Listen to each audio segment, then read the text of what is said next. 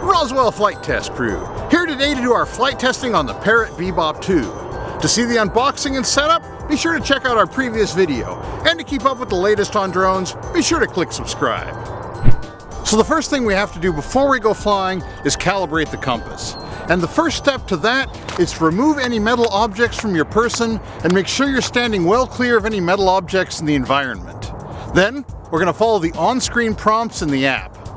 We're going to have to rotate the aircraft through all three axes. Just follow the little picture on the screen. Start by rotating in the horizontal axis.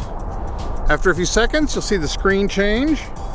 And then we're going to rotate it nose first through the vertical axis. And again, the screen will change. And finally, we're going to rotate it around the roll axis. Do that a couple times and you're done. So let's start by taking a look at the automatic takeoff and automatic landing features. To take off, you push this button here and you can see it lifts off and hovers, does a pretty good job of that. But what's strange is that you cannot land it manually. Watch as I push the throttle stick down here, gets about 18 inches off the ground and it just, it won't go any lower. I've never seen anything quite like that. So in order to actually make it land, you have to press the takeoff land button again. It lands kind of hard. I guess it's designed to take that, but that's a bit rougher than I'd like.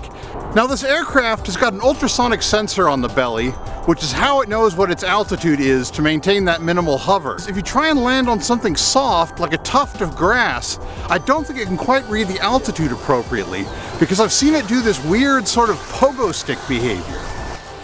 In its sort of factory default settings, it's pretty staid. It's not a speed racer right out of the box.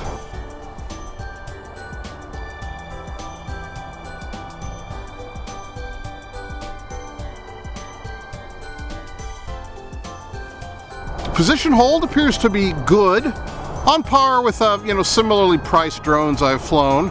There is a bit of wind today, and it generally holds its position.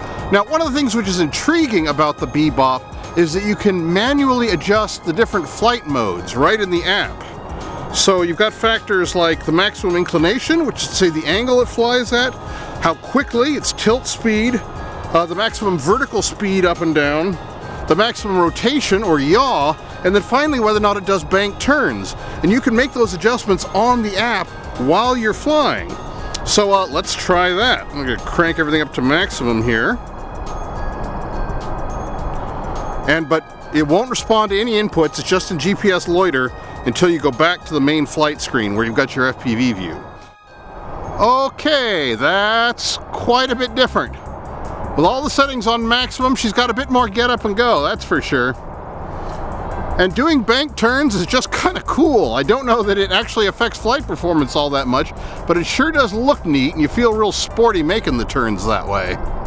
So one more thing to be aware of is that this is indeed a patch antenna. It's directional. It's stronger when it's pointing at the aircraft. And if you point it away from the aircraft, in the sides of the screen, you get these little red indicators that flash and tell you to get it pointing back at the aircraft. That's a cute little feature and good thing to keep in mind. So next up, I'm going to give you a sample of some video recorded on board the aircraft. Now obviously this aircraft doesn't have a gimbal, but the digital image stabilization is far and away the best I've ever seen from an aircraft without a gimbal. I mean, it's, it's really quite astonishing. Now two things that's really important to keep in mind with this drone. One, every time you take off, it automatically starts recording. That apparently is just a feature. So keep an eye on that and if you don't want to be recording what you take off you have to fly out to your subject or whatever be sure to hit stop after you take off. And then the second thing to be aware of is that this drone does not use an SD card. All the video is recorded internally on internal memory and you have to hook it up directly to a computer using a USB cable in order to download that footage and there's just not enough room in the internal memory to record a full day of flying. One of the things that would make me believe this aircraft has a gimbal, even though it doesn't, is the fact that you can actually tilt that non-existent gimbal up and down with this controller at your fingertip here.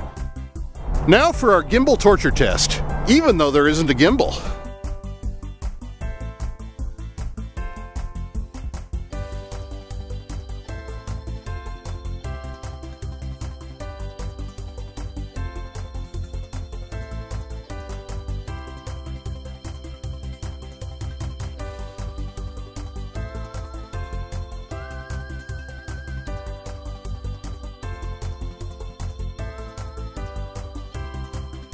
Here's our flight endurance test. As always, we land when the drone gives us a low battery indication. The Bebop 2 performed very well, but it's worth noting that we only got the warning when the battery was at 10%. So that was our flight test of the Parrot Bebop 2. Remember, you can check out the unboxing and setup in our previous video, and be sure to click subscribe to keep up with the latest on drones. Thanks for watching, and we'll see you next time. Fly safe!